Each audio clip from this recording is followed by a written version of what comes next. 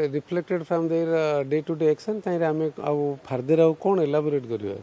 ଓଡ଼ିଶାବାସୀ ସବୁବେଳେ କ'ଣ ଦେଖିବି ଜାଣିପାରୁନାହାନ୍ତି ଯେ ବିଜୁ ଜନତା ଦଳରେ ଏଷ୍ଟାବ୍ଲିଶ ଫାଉଣ୍ଡର ମାନେ ଯେଉଁମାନେ ଦଳକୁ ପ୍ରତିଷ୍ଠିତା ପ୍ରତିଷ୍ଠା କରିଥିଲେ ଦଳକୁ ସଂଘର୍ଷ କରି କ୍ଷମତା ଆଣିଥିଲେ ଆଜି ଦିନରେ ସେମାନେ କିଏ ନାହାନ୍ତି ବୋଲି କ'ଣ ସେ ନେତାମାନେ ବୁଝିପାରୁନାହାନ୍ତି ନା ଓଡ଼ିଶାବାସୀ ଜାଣିପାରୁନାହାନ୍ତି? ତାହିଁରେ ଯେଉଁ ଏୟୁ ସିଂଦେଓ ଫ୍ୟାମିଲି ଦିସ୍ ପ୍ରସନ୍ନ ଆଚାର୍ଯ୍ୟ ଦିଲ୍ଲୀପ ରୟ ବିଜୟ ମହାପାତ୍ର ବିଭିନ୍ନ ଲୋକଙ୍କୁ ବିଭିନ୍ନ ସମୟରେ ମିଥ୍ୟା ଆରୋପରେ ବାହାର କରିବା ଆଉ ଷଡ଼ଯନ୍ତ୍ର କରିକି ପ୍ରଶାସନିକ କ୍ଷେତ୍ରରେ ନୋମିନେସନ୍ ପେପରକୁ ନାକଚ କରିବା ଆଣ୍ଡ କାର୍ଯ୍ୟାନୁ ପୋଲିସ କାର୍ଯ୍ୟାନୁଷ୍ଠାନ କରିବା ଏ ତ ଚିରାଚରିତ ଏ ସରକାରଙ୍କର ଗୋଟେ ନୀତି ପାଲଟିଛି।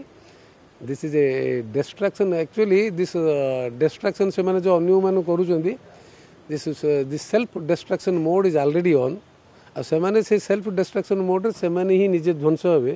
ଏ କଥା ବି ଅ, ଆଗାମୀ ଦିନରେ ପ୍ରମାଣ ହେବ। ଦେଖ ମ, ରାଜ୍ୟସଭା ଇଲେକ୍ସନ୍ ଅଛି।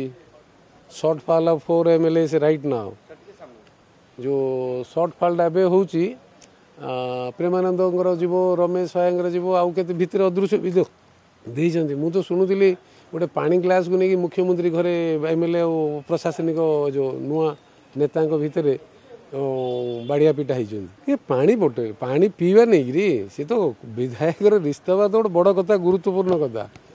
ପାଣି ଏମ୍ ଏଲ୍ ଏ ଜଣେ ପିଇ ଦେଲା ବୋଲିକି ବାଡ଼ିଆ ପିଟା ହେଉଛନ୍ତି। ଆଙ୍କର ଷ୍ଟାଣ୍ଡାର୍ଡ଼ କ'ଣ ବୁଝିପାରୁନ କେଉଁ ସ୍ତରରେ ଏମାନେ ଅଛନ୍ତି? ଆଇ ଆଇରେ କ'ଣ ଏକ୍ସପେକ୍ଟ କରିବେ ଓଡ଼ିଶାବାସୀ?